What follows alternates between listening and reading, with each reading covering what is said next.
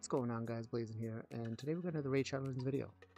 Today I want to talk to you guys about 3v3 Arena, and is it worth doing? Uh, my opinion, I think there's about 4 or 5 times a month where it's worth doing. Two of them are doing CVC. It's a great point uh, resource for CVC. You could do with about 400 gems per day. You could do close to you know 130,000 points, 140,000 points, uh, as long as you're in like gold four or gold three. It's still roughly about the same, uh, you know, give or take like 10,000 points if you're in a less bracket like gold two or gold one. But and it's definitely a great source in silver and in bronze. More in silver than bronze, but if you can push up to gold 1, it's definitely a great point gainer for CVCs. So that's two of the times. So, uh, you know, when you have your PR CVC and your non-PRs, those are great times to uh, be farming 3v3.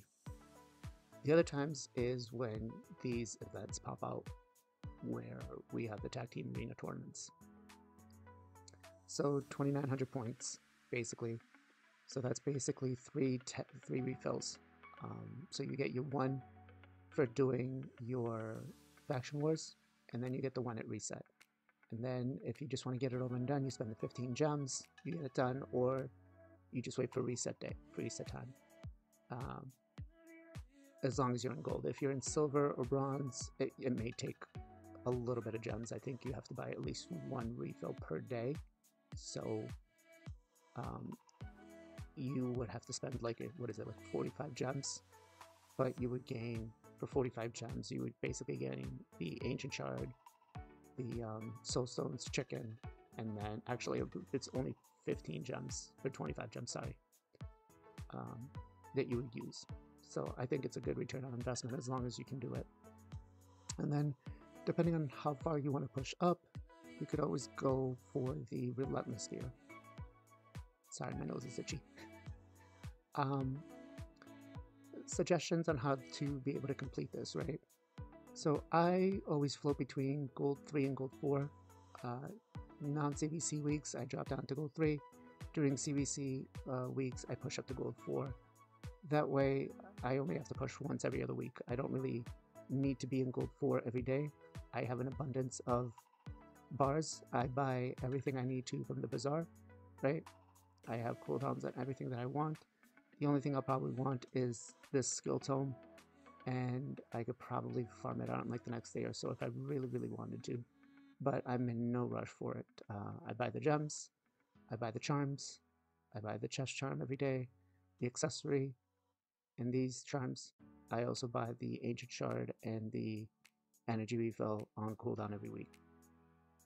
But I set my one-man defense every Monday after reset, right? So you can see here I'm getting attacked. It is what it is, but I dropped down to this level and if you look,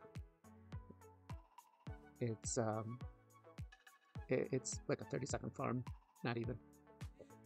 You know, we, you go in, one second for that fight, two seconds for that fight, and then five seconds in total. I got 100 points, 141 medals, so I definitely think it's worth it. Um, it takes some time. I mean, you got guys like this who I guess don't think they should make it easy for everyone else, but you just avoid them. But if I was to reset now, what is it? 8 out of the 10 teams are all farmable in under 30 seconds. So, um, the game mode might not be as enjoyable for everybody. Uh, I kind of have mixed feelings. I like it because it allows me to play with different arena teams and arena comps so I can try my arena comps on 3v3 for plat push and see how they work, like my defenses and stuff.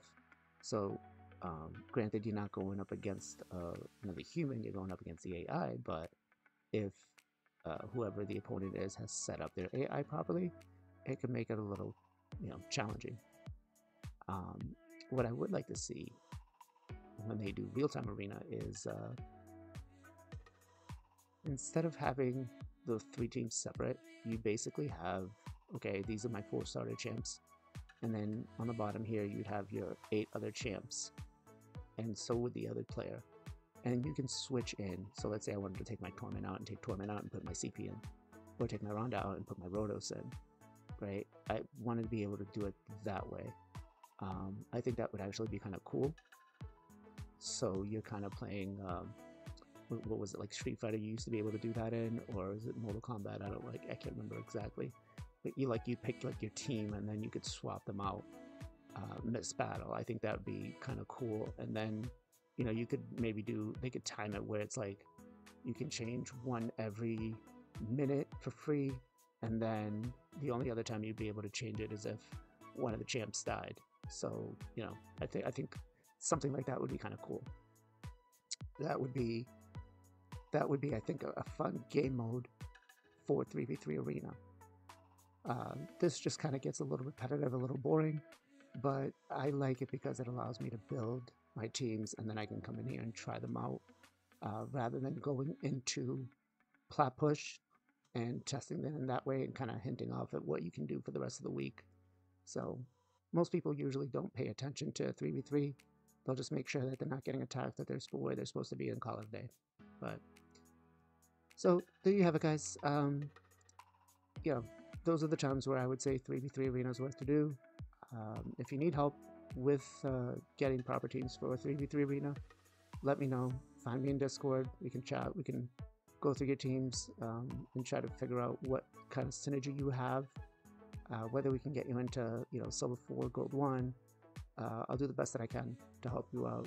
But um, until next time, I will catch you guys later. Bye.